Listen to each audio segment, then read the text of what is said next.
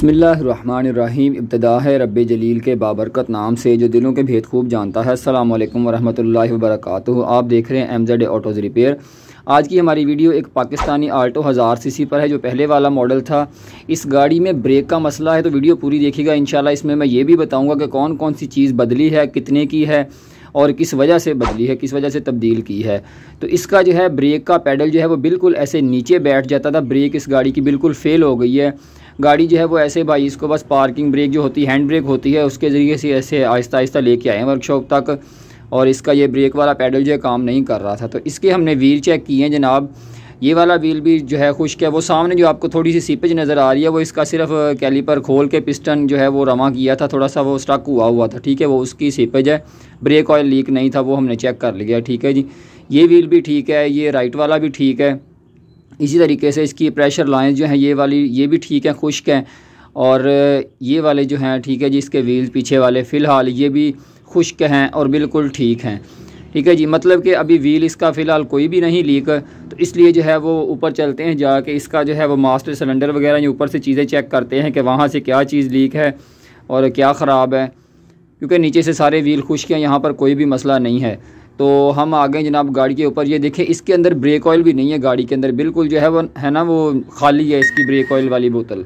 तो इसका जो है, ये देखें मास्टर सिलेंडर जो है, ये भी साइडों से बिल्कुल खुश्क है परफेक्ट है। यहाँ पर भी लीकेज सीपेज कोई नहीं है। लेकिन शक जो है, वो हमें इसी पर है, इसलिए हम इसको खोलेंगे ताकि अच्छे तरीके से पता चल सके कि मसला आखिर है कहाँ। तो इसका जो है, वो मास्टर सिलेंडर लड़के खोल रहे हैं। अच्छा इंशाल्लाह इस वीडियो में पार्ट्स की प्राइस भी बता दूँगा कि कौन कौन सी है, कौन सी चीज़ इसमें तब्दील हुई है।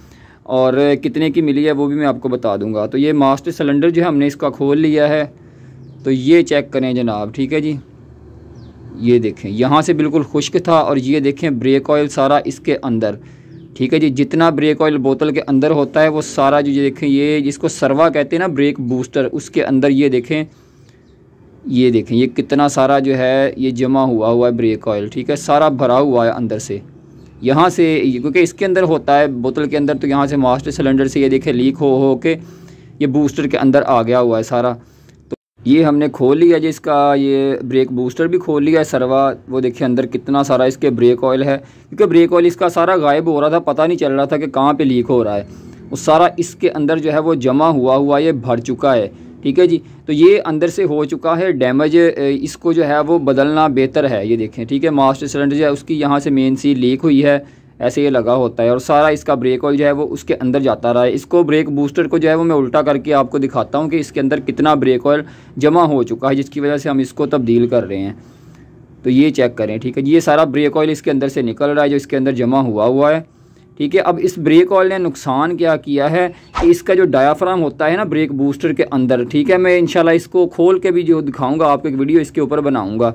उस डायाफ्राम को रबड़ के डायाफ्राम को ख़राब कर दिया है, जिसकी वजह से हमें ये वाला इसके अंदर लगाना पड़ेगा। तो ये वाला जो है काबली है, इसमें सिर्फ़ ये सेंसर लगा हुआ है और इसमें नहीं है, ठीक है? ये पाकिस्तानी है और ये वाला जो है, ये जापानी है। इसमें सिर्फ़ ये हवा के प्रेशर वाला सेंसर लगा हुआ है, बाकी सारा सेम है। तो ये हमें मिला है जनाब छः हज़ार रुपये का, ठीक है? बड़ी अच्छी कंडीशन का, ठीक है? तो इसको जो है वो खोल के एक दफ़ा अंदर से देख लेते हैं, क्योंकि काबली चीज़ है, भरोसा तो नहीं होता यूज़ है।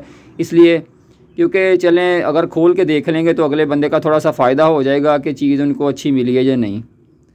तो माशाल्लाह अंदर से बड़ा ज़बरदस्त, बेहतरीन, खुश्क है और बिल्कुल साफ़ सुथरा है, बिल्कुल नए जैसा है। नया तो नहीं है, लेकिन बिल्कुल नए जैसा है अलहमदिल्ला और जापानी है। और ये देखें, ये अंदर से बिल्कुल खुश्क है, वो सामने से बिल्कुल साफ़ प्लास्टिक आपको नज़र आ रही है। ये वाली जो है, ये ग्रीस लगी होती है, क्योंकि ये रिंग के ऊपर लगाते हैं। ये वाला जो होता है ना, मास्टर सिलेंडर का, ताकि अंदर आसानी से ये बैठ जाए।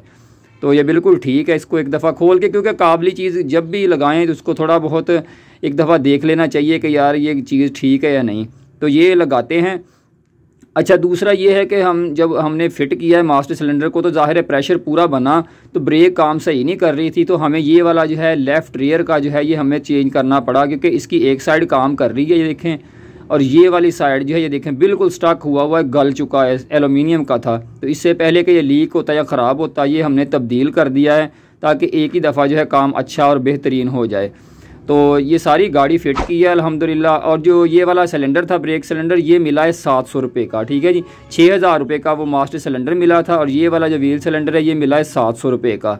तो गाड़ी फिट की है, अल्हम्दुलिल्लाह, इसकी ट्राई की है, गाड़ी बड़ी बेहतरीन हो गई है परफेक्ट हो गई है। तो उम्मीद है आज की वीडियो आपको पसंद आई होगी। नेक्स्ट वीडियो तक के लिए इजाज़त दीजिए। अल्लाह हाफिज़।